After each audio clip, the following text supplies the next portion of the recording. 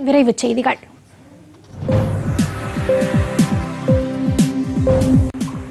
மத்திய ஆசிரியர் தகுதி தேர்வு வரும் டிசம்பர் மற்றும் ஜனவரி மாதங்களில் ஆன்லைன் முறையில் நடத்தப்படும் என்று மத்திய இடைநிலை கல்வி வாரியம் மற்றும் மத்திய ஆசிரியர் தகுதி தேர்வு தெரிவித்துள்ளது.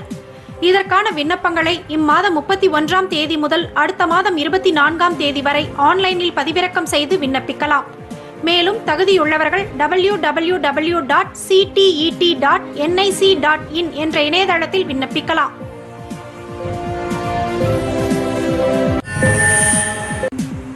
மத்திய அறிவியல் மற்றும் தொழில்நுட்ப அமைச்சகத்தின் கீழ் இயங்கும் உயிரி தொழில்நுட்பத்துறை நிலுவையில் உள்ள குறைகளை தீர்ப்பதற்கான சிறப்பு பிரச்சாரத்தை மேற்கொண்டு வருகிறது. பதினைந்து தன்னாட்சி நிறுவனங்கள் மற்றும் இரண்டு பொதுத்துறை நிறுவனங்கள் உட்பட பதினேழு இடங்களில் இந்த பிரச்சாரம் மேற்கொள்ளப்பட்டு வருகிறது.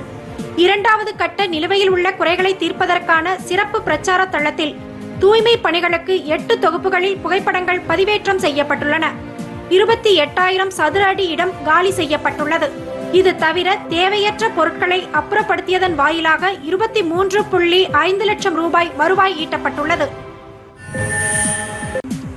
நாடு தழுவிய அளவில் ஒருமுறை பயன்படுத்தும் பிளாஸ்டிக் உபயோகத்திற்கு தடை விதிக்கப்பட்டதில் இருந்து இதுவரை சுமார் நாற்பத்தி ஆறு டன் பிளாஸ்டிக் பறிமுதல் செய்யப்பட்டுள்ளதாக மத்திய அரசு அதிகாரிகள் தெரிவித்துள்ளனர். பிளாஸ்டிக் உற்பத்தி விற்பனை தேக்கி வைத்தல் இறக்குமதி செய்தல் மற்றும் அவற்றின் பயன்பாட்டிற்கு கடந்த ஜூலை ஒன்றாம் தேதி முதல் தடை விதிக்கப்பட்டது.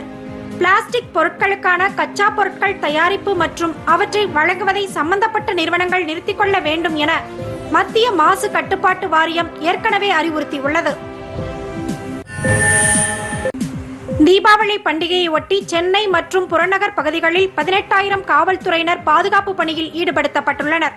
பண்டிகைக்கான புத்தாடைகள் பட்டாசு மற்றும் பல்வேறு பொருட்களை வாங்க முக்கிய பகுதிகளில் மக்கள் கூட்டம் அதிகரித்துள்ளதால் விரிவான பாதுகாப்பு ஏற்பாடுகள் செய்யப்பட்டுள்ளதாகவும் தியாகராய நகர் பாண்டி பஜார் புரசைவாக்கம் பூக்கடை வண்ணாரப்பேட்டை உள்ளிட்ட மக்கள் அதிகம் கூடும் இடங்களில் கூடுதலாக காவல்துறையினர் பணியமர்த்தப்பட்டு கண்காணிப்பு தீவிரப்படுத்தப்பட்டுள்ளதாகவும் சென்னை பெருநகர காவல்துறை தெரிவித்துள்ளது.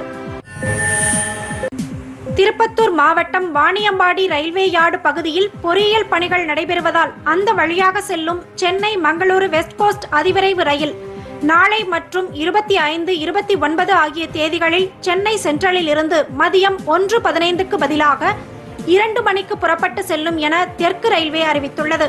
வழக்கமாக புறப்படும் நேரத்திற்கு பதிலாக இந்த ரயில் நாற்பத்தி ஐந்து நிமிடம் தாமதமாக புறப்பட்டு செல்லும் என்றும் பயணிகள் புதிய நேரத்தை பின்பற்றுமாறும் கேட்டுக்கொள்ளப்பட்டுள்ளது.